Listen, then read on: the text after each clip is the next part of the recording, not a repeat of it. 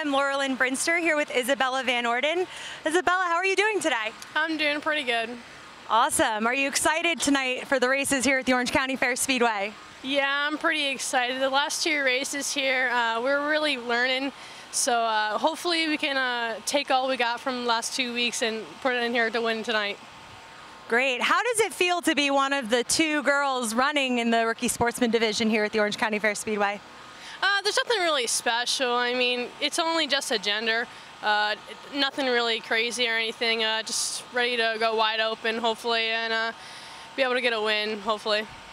That's a great attitude to have. Now, what kind of experience do you feel that you've gained here in the rookie sportsman division?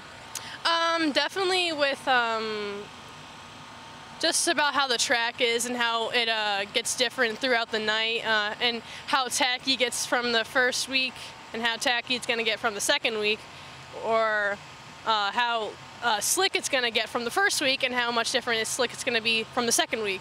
So uh, just uh, trying to see what the track's going to do throughout the night and I hopefully hopefully we'll get it slick enough but we got some rain coming I hope hopefully not but um, you're going to have to see what and wait it out.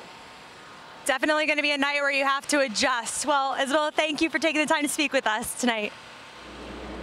Van Orden shows the way, knows that time is winding down. Right there rides Madsen. Madsen will try everything in the book. Madsen runs the high side. So does Van Orden. Out of turn number two, down the back straightaway. The gap gets there. The white flag gets set to fly.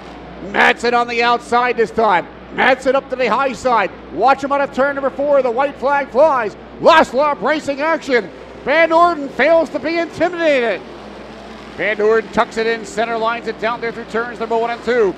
Madsen fumbling through the glove compartment looking for the rabbit's foot. He knows he's only got two more flicks of the wrist of a checker flag. Down the back straightaway. Isabella Van Orden could see her first checker flag ever in the history of the Orange County Speedway. 14 year old gal from Port Jervis, and she will win the feature event tonight. Isabella Van Orden, I'll tell you what, what a show this gal put on here tonight in a rookie sportsman car, faster than the sportsman feature would have turned. Did it look, did it feel as good as it looked out there tonight? Yeah, this high side around this place is pretty gnarly. Uh, just like Jared said, this place is about wide open. So uh, it, this place is very fun to race in. So I uh, just can't thank everybody and enough. My father, you know, we, I couldn't do it without him. Uh, just late nights in the shop, it's just all work together with, you know, all night, all day. It's just amazing. I can't thank him enough. You know, you had a lot of fun nights at smaller tracks like Accord, but did you ever think a feature win like this would come so soon? No, I thought, you know, a little in the middle of the season it would come along, but uh, this car was just on rails tonight, and I can't thank him enough. You certainly made Jimmie Johnson proud. This was his old ride from uh, the season past, and like he said, it's a lot of good equipment there. Good equipment doesn't always mean a feature event finish. He took a good driver behind the wheel. Congratulations on a drive well done. Thank you.